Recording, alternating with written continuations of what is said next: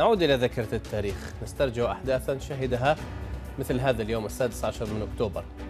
في عام 1902 في مثل هذا اليوم تم استخدام بصمات الأصابع لتسوية دعوى قضائية للمرة الأولى في فرنسا. أما في عام 1925 اتفاقية لوكارنو تكرس بنود اتفاقية فرساي التي أنهت الحرب العالمية الأولى. وفي نفس اليوم من عام 1936 أممت شركات الصناعات الجوية في فرنسا. أما في عام 1942 قتل ألف شخص في إعصار مدمر في بومبي في عام 1945 تم إنشاء منظمة الأغذية والزراعة فاو.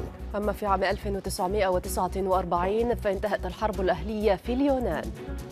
وفي مثل هذا اليوم من عام 1952 قطعت إيران العلاقات الدبلوماسية مع بريطانيا بعد فشل المفاوضات حول الامتيازات النفطية. وفي عام 1964 فجرت الصين أول قنبلة نووية. أما عام 1981 في مثل هذا اليوم شهد وفاة وزير الدفاع الإسرائيلي السابق موشي ديان.